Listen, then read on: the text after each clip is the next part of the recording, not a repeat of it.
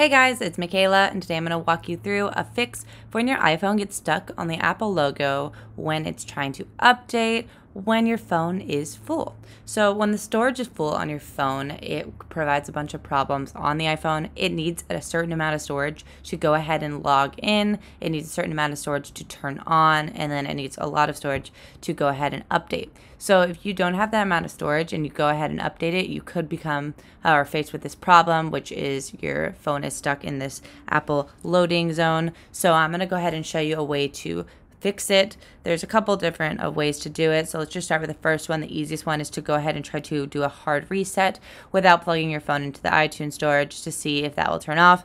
Sometimes it doesn't work, sometimes it does. So you, what you do is just you hold your volume up or down button at the side of your phone and then at the same time hold that power button, turn your phone all the way off and then go ahead and turn it back on and see if that reset.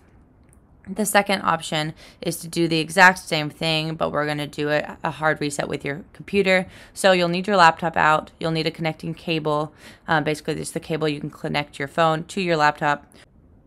You're going to hold the volume down and the side button at the same time.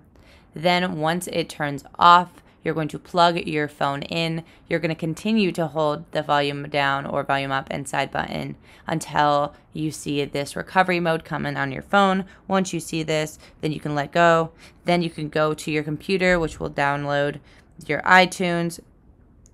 You'll be able to click on your iPhone, you'll go over, and then it will say there was a problem, or it won't say there's a problem, but you'll see this restore button. Go ahead and hit restore, and this is going to restore your phone completely you'll have to turn on your phone once it's done restoring and then log in as if it's a brand new phone and you can connect it to your backups that you've had set up and you'll be able to restart from there. Make sure to clear out storage before you go ahead and try the new update again so that you have enough room. If you guys have any questions on that, let us know in the comments below. If not, don't forget to like and don't forget to subscribe.